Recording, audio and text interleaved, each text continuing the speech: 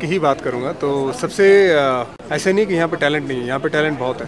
सिर्फ़ जम्मू कश्मीर में नहीं, लेकिन जो बाकी डिस्ट्रिक्ट है यहाँ पे, छोटे, जो छोटे छोटे डिस्ट्रिक्ट है, वहाँ पे सिर्फ़ एक अपॉर्चुनिटी की बात है। जो एक अपॉर्चुनिटी की बात होनी चाहिए तो अभी एसोसिएशन से मिलके काफ़ी एक अच्छा बहुत बढ़िया प्लान हुआ है कि डिस्ट्रिक्ट में एक टूर्नामेंट रखी जाएगी जो सारे डिस्ट्रिक्ट में जहाँ पे सारे बच्चों को मौका दिया जाएगा। वहाँ से टैलेंट ढूंढ ढूंढ के उनको मेन स्टेट में लाया जाएगा जहाँ पे उनको क्रिकेट कोचिंग क्रिकेट ट्रेनिंग दी जाएगी। अ, मेरे साथ बहुत सारे लोग हैं जो जुड़ेंगे कोचेज़ वगैरह और उनको मौका दिया जाएगा। और सिर्फ़ और सिर्फ़ टैलेंट पे ध्यान दिया जाएगा कि बंदे में टैलेंट कितना है और उसके बाद उसका मैच टेम्परामेंट कैसा है। तो डेफिनेटली बहुत टैलेंट है, उसको बस निकालने की बात है और होपफुली वो निकलेगा। देखिए, मेरे पास भी कोई जादू की छड़ी नहीं है, लेकिन मैं यहाँ पे आया हूँ, मैं मेहनत ज़रूर करूँगा और मेहनत करवाऊँगा बच्चों को।